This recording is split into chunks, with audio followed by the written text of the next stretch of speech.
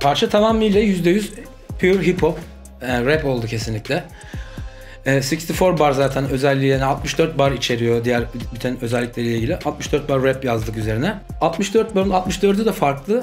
Kesinlikle olması gerektiği gibi ama belli bölümlerde aynı melodiyle ve aynı flow'la akan kısımlar var. Orada biraz böyle yaratıcılığımızı konuşturduk aslında. Bu sana ariş Kolaysa pabiç Bir kısım işi biliyor birçoğu hariç. Arama boşuna bulamazsın yok gibi tarif. Nasıl yazıp duralım her an edilirken tahrik. Tamamıyla %100 hip hop içeren, rap içeren her şey zaten. Hem bizi desteklediği için hem de bizim her zaman e, desteklemek istediğimiz ve görmek istediğimiz bir şey olduğu için o yüzden e, çok memnunuz bunun- bununla ilgili. Basları kısalım mı?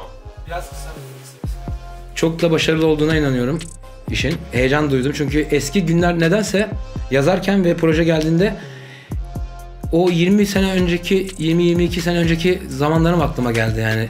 Hem beat'in duygusu mu artık diyeyim hem de projenin içeriği ve diğer sanatçıların yaptığı rapler ve konseptten dolayı mı bilmiyorum ama oldukça keyif verici yani. Veremek çivi çak Bu kıta bir kitap Gibi dolu inan Oku ama vakit az. Bırakma yarına sen Birikip oluyor sel Belki olursun derin sularda bir balina. Para sayan makinaları var ama gene bir ton hata.